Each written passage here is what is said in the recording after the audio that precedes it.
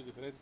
A ver, yo hice, yo lo he dicho claramente, yo no hice una tesis, yo hice un informe, me titulé por experiencia profesional, está en manos de la UNAM, mi caso, este, ahí es donde presentaré eh, lo que la UNAM me esté pidiendo y en el caso de ella pues habrá que ver si la UNAM la, la cita para el tema. ¿Cómo- pero cómo ¿Ya acudió a comparecer a la UNAM?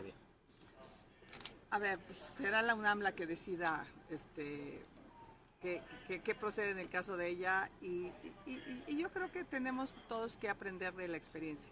¿Consideras que ya es guerra negra antes de las campañas? Pues este, pues siempre ha sido así, o sea, yo me acuerdo de alguien que decía que no sabe quién era su papá, le decía métete de político y ahí te lo van a encontrar, o sea, Regresando, ya compareció ante la UNAM, ¿cuál fue la fecha que le dieron para ya resolver este, esta ya situación? recibí una carta, estamos contestando y compareceré muy pronto.